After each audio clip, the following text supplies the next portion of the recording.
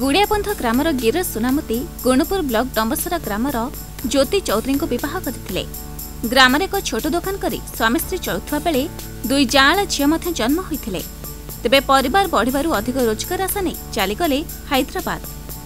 ତେବେ କରୋନାର ଦ୍ୱିତୀୟ ଲହରେ କାମଧନ୍ଦା ବନ୍ଦ ହୋଇଯିବାରୁ ପଦ୍ମପୁର ଅଭିମୁଖେ ଫେରୁଥିବା ବେଳେ ରାୟଗଡ଼ା ଷ୍ଟେସନରେ ଗିରିଶଙ୍କର ଅକାଳ ବିୟୋଗ ଘଟିଥିଲା। ପରେ ତାଙ୍କ ପତ୍ନୀ ଜ୍ୟୋତି ମଧ୍ୟ କରୋନାରେ ଆକ୍ରାନ୍ତ ହୋଇ ମୃତ୍ୟୁବରଣ କରିଥିଲେ। ଏକ ସପ୍ତାହ ମଧ୍ୟରେ ବାପା ମାଙ୍କର ମୃତ୍ୟୁ ପରେ ଦୁଇ ଯାଆଁଳା ଝିଅକୁ ତାଙ୍କ ମାମୁଁ ଉତ୍ତମ ଚୌଧୁରୀ ନିଜ ଘରେ ଆଣି ରଖିଛନ୍ତି। ତେବେ ଉତ୍ତମଙ୍କ ଆର୍ଥିକ ଅବସ୍ଥା ସ୍ୱଚ୍ଛଳ ନଥିବାରୁ ଏବେ ଦୁଇ ଝିଅଙ୍କ ଭବିଷ୍ୟତ ଅନିଶ୍ଚିତତା ଭିତରକୁ ଚାଲିଯାଇଛି।